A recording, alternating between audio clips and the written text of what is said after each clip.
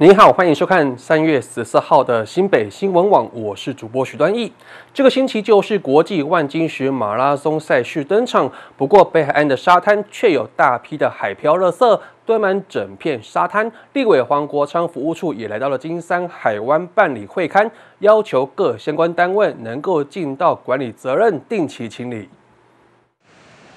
北海岸有北台湾最美丽海岸线之称，不过美丽的景观要维护管理却是相当不易。只要台风或是封面一过境，沙滩上就堆满海漂垃圾。若是没有及时净滩，垃圾随风飘飞，后方的防风林更是遭波及遭殃。在金山海湾也是如此，面临夏季旅游旺季及万金石马拉松等国际赛事的到来，立委黄国昌服务处也邀集全责单位前来会刊，就是希望能够有个定期净滩的机。希望说，如果之后有这种，其实是很早之前就已经知道的规划，能够早一点跟我们讲。对，因为我们那边说真的，办理清理的时间，它会需要一个比较长的作业时间。哎，如果可以早一点，我们这一次可能就有，也许范围可以做得大一点，像漂流木什么，我们也可以一起把它都弄好。这样，月二号哈就已经进场清理这一段，哦，进展那个大竹湾到那个黄港这一段的这个属于保安林的部分，哦。那在昨天都是全数都清理完毕了，是哦。那基本上我们单位也是经费有限的，我知道哦。这个开口契约一年大概一百万出头哦。那北北区我们都要去清哦。当然我们这一个区域哈，一年大概都。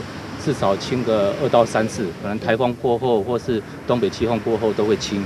金山海湾、碧林冲浪圣地沙珠湾以及黄港沙滩，在日前垃圾遍布的景象，也在清洁人员两天的清理之下干净许多。不过现场还可以见到防风林及凸堤垃圾漂流木堆积。为此，林务局表示，这个月初才清理的防风林，不到两周又见保利龙等海漂垃圾，实在是清不胜清。安尼有在清吼，啊，就差足多啊。啊啊！这这讲起拢真济项啦，这就是讲，譬如讲来像，这这几个时啊，就是有这东北季风吼。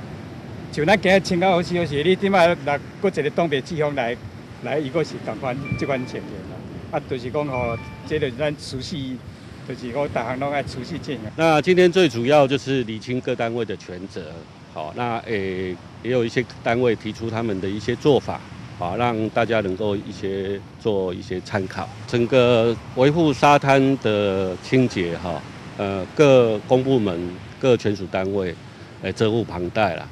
那事实上，呃，定期或是有一些应变措施，我甚至跟一些爱护啊海洋生态净滩团体合作，也是一个方法。那不能够说到了呃，已经脏乱不堪。受人检举或反映才来做。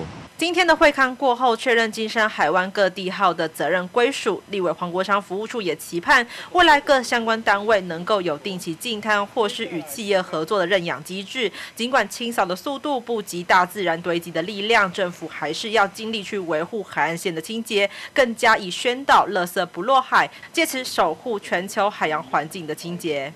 记者廖平涵金山采访报道。